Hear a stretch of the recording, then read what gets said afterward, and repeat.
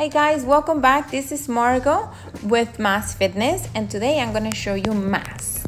Now, Mass means my name, Margo Arias Suarez, but also means mass in fitness and nutrition. So let's go with the nutrition. This is the recipe for today. Uh, is a recovery meal for after the gym. So there you have your spinach, eggs, quinoa, um, white eggs, and you have your green pepper, no, red peppers and green onions.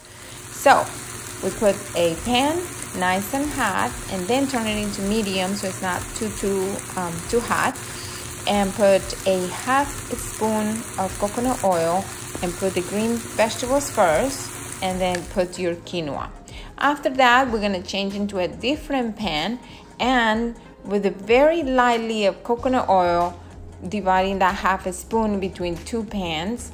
So we put the eggs and then on top we're gonna put the vegetables and the quinoa.